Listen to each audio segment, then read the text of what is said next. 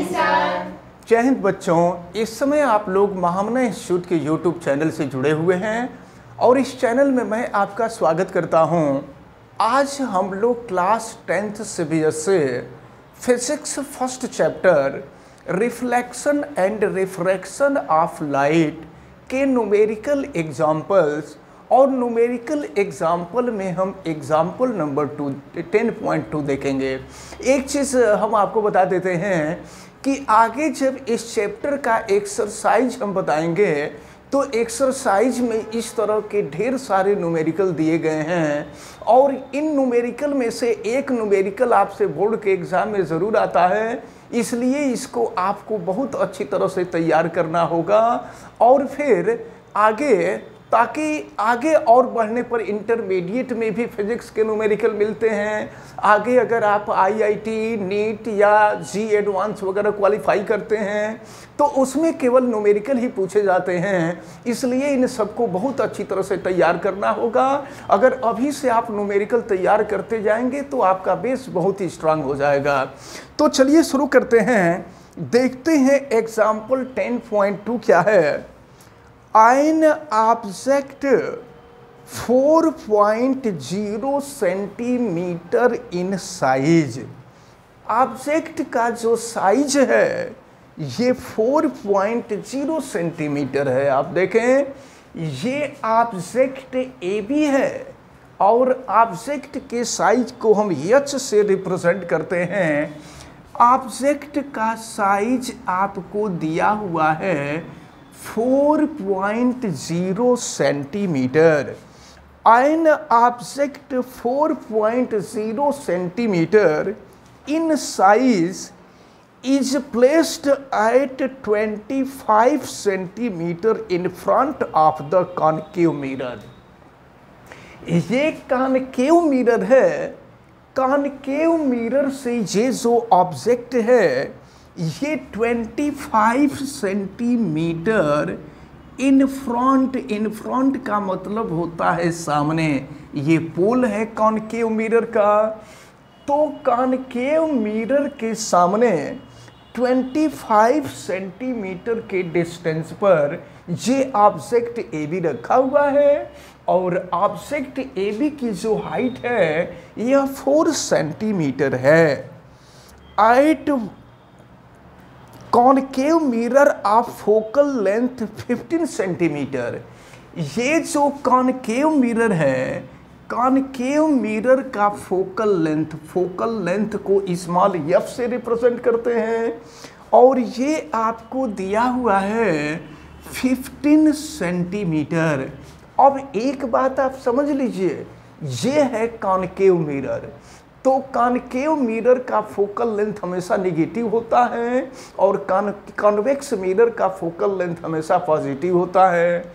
तो ये निगेटिव हो जाएगा। ये एफ़ की वैल्यू आपको दी गई है 15 centimetre at what distance from the mirror should a screen be placed in order to obtain a sharp image जरा ध्यान से समझिए क्या कहा जा रहा है। क्वेश्चन में आपसे ये कहा जा रहा है कि ये जो कानकेव मिरर है, इस कानकेव मिरर के सामने कितनी दूरी पर स्क्रीन रखा जाए कि उस स्क्रीन पर ऑब्जेक्ट का क्लियर इमेज ठीक ना? ऑब्जेक्ट का शार्प इमेज यानी क्लियर इमेज ऑबटेंड हो। तो आपसे क्या पूछा जा रहा है? आपसे पूछा जा रहा है कि कॉनकेव मिरर से कितने डिस्टेंस पर स्क्रीन होगा? अब जरा ध्यान से समझिए स्क्रीन स्क्रीन पर इमेज बनेगा तो स्क्रीन वही होगा जहाँ ऑब्जेक्ट का इमेज बनेगा। इसका मतलब ये हुआ कि आपसे ये पूछा जा रहा है कि ऑब्जेक्ट से इमेज के बीच का डिस्टेंस कहाँ होगा? क्योंकि जहाँ इमेज बनेगा स्क्रीन वही होगा। अगर स्क्रीन कहीं और रहेगा तो वो इमेज सीन नहीं होगा। तो इसलिए आपसे पूछा जा रहा है कि स्क्रीन कहाँ होगा, जिससे ऑब्जेक्ट का शार्प इमेज बने। It means we want to find the distance from pole of concave mirror and uh, distance between the image. तो अब जो है पोल से इमेज के बीच का डिस्टेंस फाइंड करना है और पोल से इमेज के बीच के डिस्टेंस को हम भी से रिप्रेजेंट करते हैं हमें भी की वैल्यू फाइंड करनी है। लेकिन एक चीज़ और देख लीजिए आप तो मिरर से ऑब्जेक्ट के बीच का डिस्टेंस कितना है? तो मिरर से ऑब्जेक्ट के बीच का जो डिस्टेंस होता है, वो यू होता है और u की वैल्यू 25 सेंटीमीटर दिया हुआ है। एक बात और आपको समझना आवश्यक है कि देखिए, जिस डायरेक्शन में लाइट रे चल रही है उस डायरेक्शन में अगर हम डिस्टेंस मेज़र करते हैं तो वो डिस्टेंस पॉजिटिव होता है। लेकिन अगर अपोजिट डायरेक्शन में हम डिस्टेंस मेज़र करते हैं तो ये डिस्टेंस नेगेटिव होता है। आपको ये भी मालूम होना चाहिए कि कोई भी डिस्टेंस हम मेज़र करते हैं तो मिरर के पोल से ही हम मेज़र करते हैं। तो देखें, हम मेज़र करेंगे डिस्टेंस पोल से और लाइट रे हमेशा ऑब्जेक्ट से चलती है। तो ऑब्जेक्ट है यहाँ लाइट रे का डायरेक्शन लेफ़्ट से राइट होगा और डिस्टेंस मेज़र करेंगे राइट से लेफ़्ट तो अपोजिट डायरेक्शन में जब हम डिस्टेंस मेज़र करते हैं ना तो ये डिस्टेंस निगेटिव होता है। तो अच्छा एक चीज़ और आपको माइंड करना है कि जब कोई भी ऑब्जेक्ट मिरर के फ्रंट साइड में होता है ना तो वो डिस्टेंस हमेशा निगेटिव होता है। तो यू की value minus twenty five centimetre हो गया भी की वैल्यू आपको फाइंड करनी है तो देखिए आपसे क्या पूछा जा रहा है। तो सबसे पहले तो आपसे यही पूछा जा रहा है कि ऑब्जेक्ट सबसे पहले आपसे ये पूछा जा रहा है कि मिरर से इमेज के बीच का डिस्टेंस कहाँ होगा? यानी भी की वैल्यू पूछी जा रही है। इसके बाद आपसे पूछा जा रहा है nature and size of the image तो एक चीज़ हम आपको बता दें कि कॉनकेव मिरर के द्वारा जो भी इमेज बनता है, यह इमेज हमेशा रियल बनता है। तो फ़र्स्ट चीज़ कि ये इमेज रियल होगा और दूसरा ये इमेज इन्वर्टेड होगा और इनलार्ज्ड भी होगा, लेकिन ये केवल स्टेटमेंट से कहने से काम नहीं बनेगा। हम लोगों को नोमेरिकली सॉल्व करके दिखाना होगा कि ये सारी चीज़ें होंगी यहाँ पर।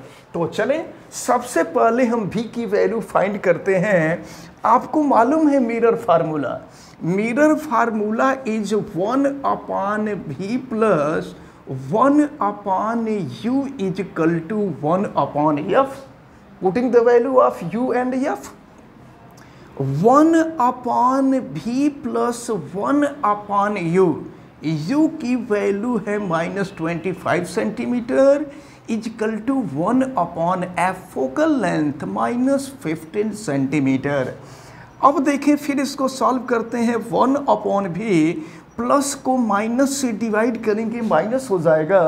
और ये हो गया one upon twenty five is equal to minus one upon fifteen अब हम यहाँ से वन अपॉन वी की वैल्यू फाइंड करें तो देखिए minus one upon twenty five opposite side में जाएगा तो लेफ़्ट में माइनस है और अपोजिट साइड में जाएगा तो प्लस हो जाएगा।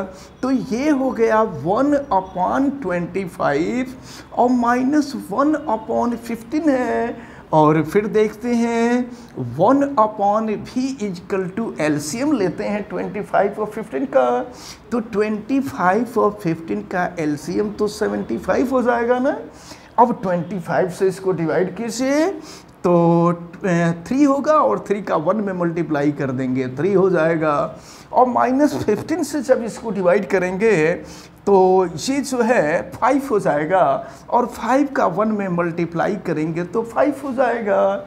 और फिर देखें क्या मिल रहा है। One upon v is equal to three minus five three minus five यानी minus two upon seventy five अब इसको हम रिवर्स कर देते हैं। तो देखिए, जब रिवर्स कर देंगे तो क्या होगा? वन अपॉन भी के प्लेस पर भी हो जाएगा और minus two upon seventy five के जगह पे minus seventy five upon two हो जाएगा। अब टू से इसको डिवाइड कर दीजिए।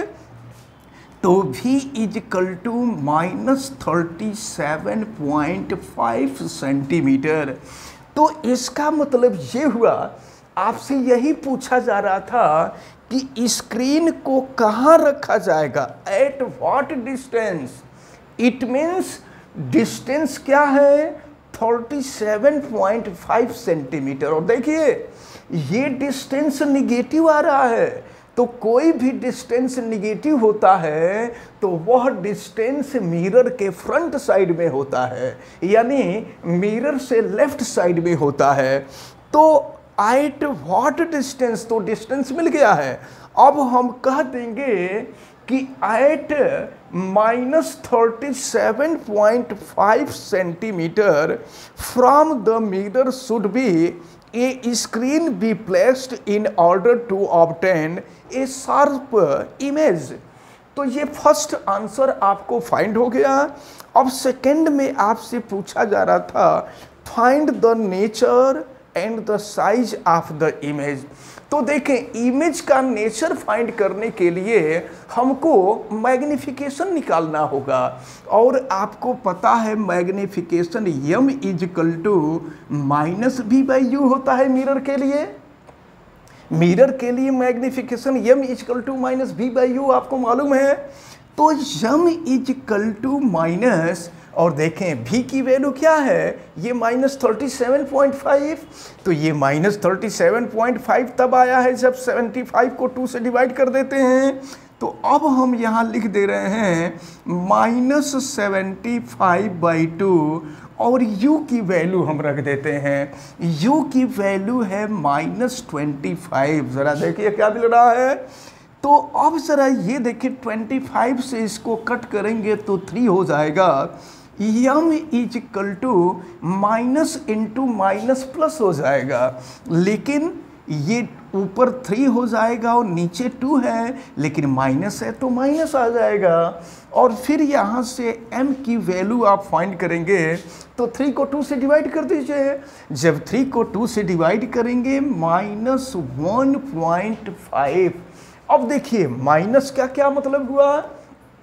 जब मैग्निफिकेशन निगेटिव आता है ना, इसका मतलब ये हुआ कि इमेज इन्वर्टेड होता है। तो ये इमेज जो बनेगा, ये इन्वर्टेड होगा और ये इमेज हमेशा रियल होता है। तो आपसे नेचर ऑफ़ इमेज पूछा जा रहा है। तो इमेज रियल होगा इन्वर्टेड होगा और फिर देखिए साइज़ भी पूछा जा रहा है। तो अब हम लोग साइज़ भी निकाल लें कि इमेज का साइज़ क्या होगा।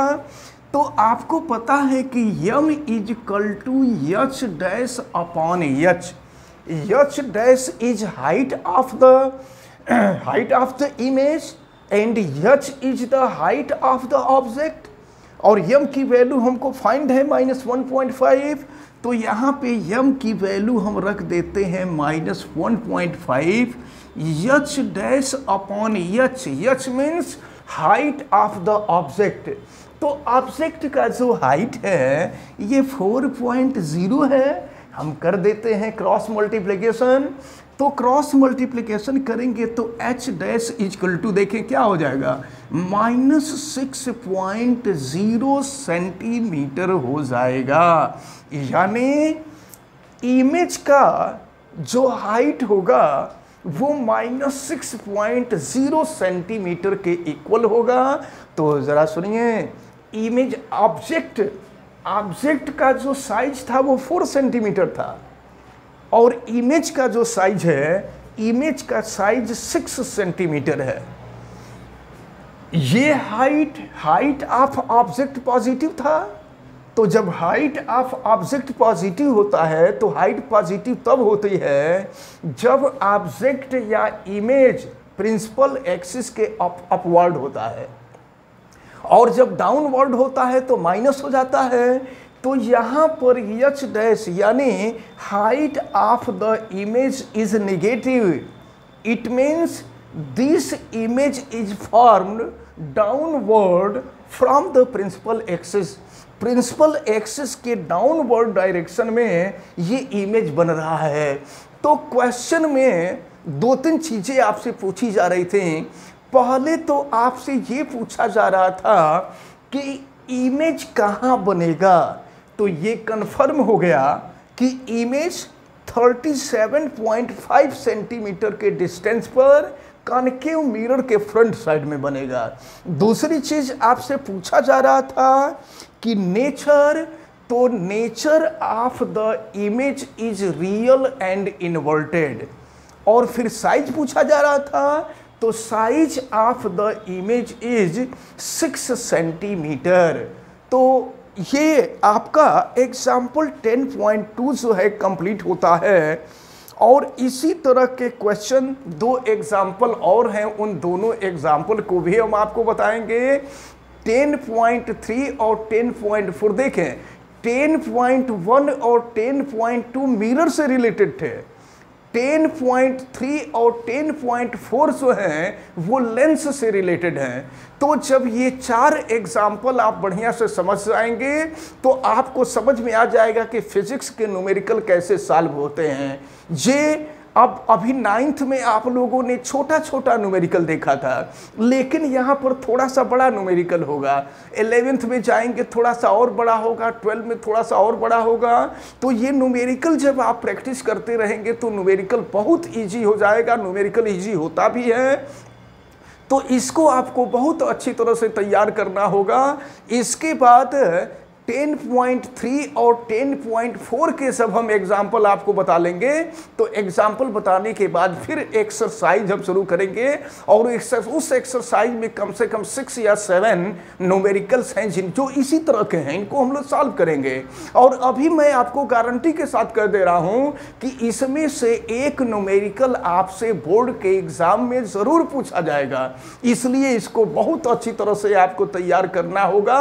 और हमें उम्मीद है कि आज ये जो एग्ज़ाम्पल आपको बताया गया, ये एग्ज़ाम्पल आपको बहुत अच्छी तरह से समझ में आया होगा। आप वीडियो को लाइक ज़रूर कीजिएगा और अगर चैनल पे नए हैं तो चैनल को सब्सक्राइब भी कर लीजिएगा। चैनल सब्सक्राइब करने के लिए यूट्यूब पे महामना इंस्टीट्यूट सर्च कीजिए और फिर रेड कलर के सब्सक्राइब वाले बटन को आप क्लिक कर दीजिए चैनल सब्सक्राइब हो जाएगा। अगर किसी प्रकार की कोई दिक्कत समझ में आती है तो आप हमें कमेंट करके बतावें भी और बेल आइकन को भी प्रेस करें ताकि प्रतिदिन पढ़ने वाले वीडियो की सूचना आपको हमेशा मिलती रहे और इस वीडियो को मैक्सिमम स्टूडेंट तक शेयर करें ताकि इस इंपॉर्टेंट टर्म को मैक्सिमम स्टूडेंट अच्छी तरह से समझ सकें। आप सभी लोगों का बहुत बहुत धन्यवाद। जय हिंद।